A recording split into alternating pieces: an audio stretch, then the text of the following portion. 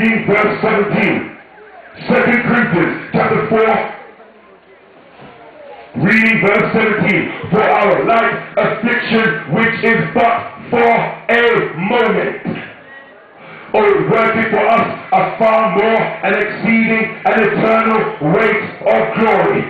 My brothers and sisters, our life afflictions, our trials, our heartaches, our persecutions are just for a moment.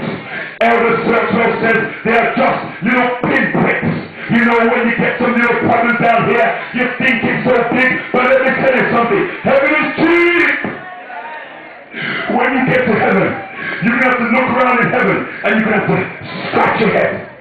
When you get to heaven, you're going to have to say, but wait. I've made it. And you know how you made it? You made it through the blood of Jesus. You're going to realize what a problems you used to